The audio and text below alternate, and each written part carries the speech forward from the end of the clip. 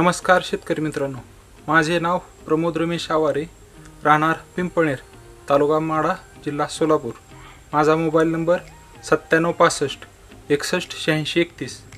मी माझ्या क्षेत्रामध्ये पंचवीस नोव्हेंबर दोन हजार एकवीस रोजी केळीची लागवड केली. त्यानंतर दोन दिवसांनी लिओनार प्रोबिओन बारा एकसष्ट आणि रुटांजा यांची ड्रिचिंग केलेली आहे. मी पहिली ड्रिचिंग रोप सेट होण्यासाठी घेतलेली होती.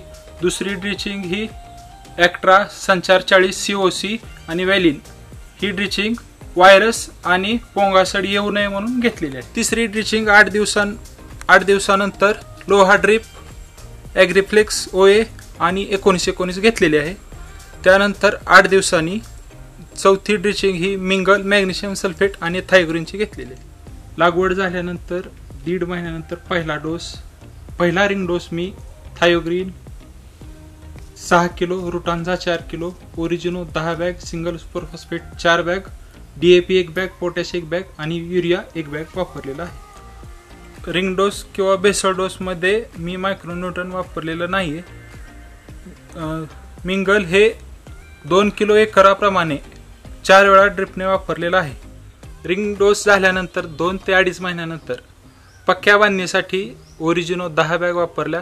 युरिया दोन किलो दोन बॅग चौदा पस्तीस चौदा चार बॅग रोटांझा चार किलो थायोग्रीन सहा सहा किलो ॲम्पल जी पंचवीस किलो मॅग्नेशियम सल्फेट पंचवीस किलो पोटॅश दोन बॅग असं प्रति एकरासाठी वापरलेलं नमस्कार मी Satish Mane development officer Agrisearch उद्योग समूह नाशिक.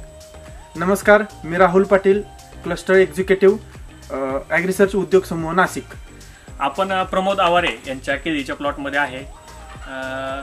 केळीच्या प्लॉट्समध्ये असताना हा प्लॉट ॲग्रिसरचा मॉडेल प्लॉट आहे. सुरुवातीपासून आपण याच्यामध्ये ॲग्रिसरची ट्रीटमेंट केलेली आहे. त्याच्यामध्ये बेसल डोस असतील सुरुवातीच्या ड्रेंचिंग असतील मोठी बांधणी असेल.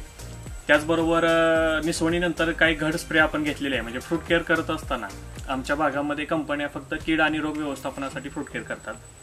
तर आमच्या शेड्यूलमध्ये आपण इथं खास करून वादीवरती लक्ष केंद्रित केलं. जर वादा चांगला असेल तर तो प्लॉट एक्सपोर्ट जातो. एक्सपोर्टच्या दृष्टीनं आपण हा प्लॉट तयार केलेला आहे आणि हा प्लॉट एक्सपोर्टला पण जाईल पक्का. तर ह्या स्प्रेमध्ये पहिल्या घड निसवणीनंतर आपण पहिला स्प्रे एक्सटेंटचा या प्लॉटला घेतला होता. अडीच मिली एक्सटेंट तेरा झिरो पंचेचाळीस पाच ग्रॅम टाटा मिडा अर्धा मिली प्रति लिटर पाणी आणि ऑर्सेल शून्य पॉईंट दोन मिली ते असंही एकत्रित घड फवारणी आपण इथं केलेली त्याचा उद्देश आपला हा होता की कीड रोग व्यवस्थापन त्याचबरोबर दर्जेदार वादी मिळाली पाहिजे. तर त्या दृष्टीनं आपण ही फवारणी घेतली. पहिल्या घड फवारणीनंतर आपण दुसरी घड फवारणी ह्याचीच रिपीट केलेली आहे. आणि तिसऱ्या घड फवारणीमध्ये आपण एक्सटेंडच्या ऐवजी सेमिग्रोचा वापर केला. तर तुम्ही इथं पाहताय खूप चांगल्या पद्धतीचा वादा मिळाला आहे साधारण एक अठरा सेंटीमीटर वीस सेंटीमीटरच्या आसपास आपल्याला वादा मिळाला आहे आणि हा वादा चांगला मिळाल्यामुळं निश्चितच हा प्लॉट आपला सगळा एक्सपोर्टला जातो या ठिकाणी आपण तीन घड फवारण्या घेतलेल्या आहेत. त्याचबरोबर पावसाळ्यामध्ये डासांचा प्रादुर्भाव बागेमध्ये मोठ्या प्रमाणात राहतो. त्याच्यामध्ये फेंडॉल असेल धानुसान असेल आलटून पालटून आपण याच्या इथं फवारण्या घेतलेल्या आहेत. त्यामुळे डास व्यवस्थापन हा सुद्धा एक पावसाळी हंगामामध्ये केळी बागेमधला महत्त्वाचा घटक आहे.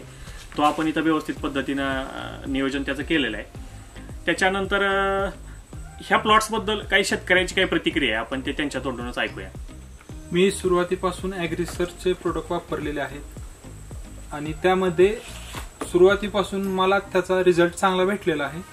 तरी ॲग्रिसर्चचे पूर्ण शेड्यूल शेतकऱ्यांनी फॉलो करावे.